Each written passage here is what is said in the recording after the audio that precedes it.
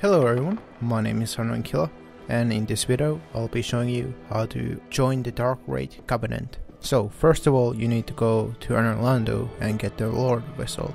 Note that after getting the Lord Vessel, you don't want to go and talk to Kingseeker Frampt and place the Lord Vessel that way. After getting the Lord Vessel, what you actually want to do is to go and kill Sif the Great Grey Wolf to get the Covenant of Artorias ring.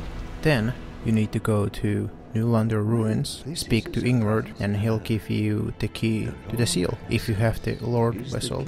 to the seal. You can also just kill Ingward to get the key to the seal. And lastly, you need to defeat the Four Kings boss in the Abyss.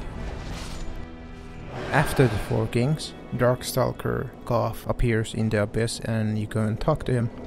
Greetings, undead warrior.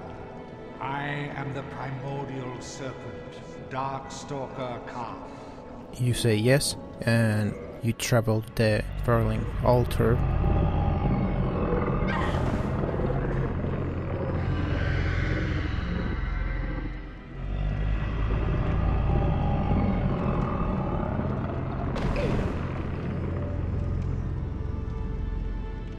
There, you place the Lord Vessel on the altar.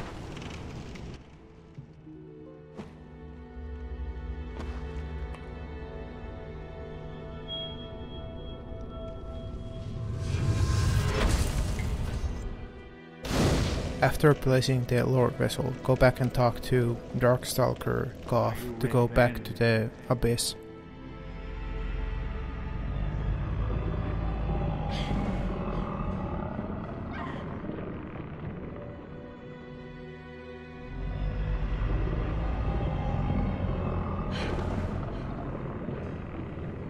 Now that you're back in the Abyss, go and talk to Darkstalker Kaathe again. Ah, if you wish, I shall grant the art of life drain, the legendary power of the Dark Lord.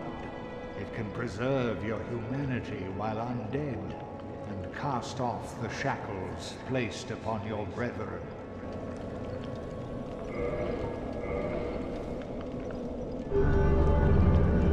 And by joining the Darkwraith Covenant, you get the Dark Hand.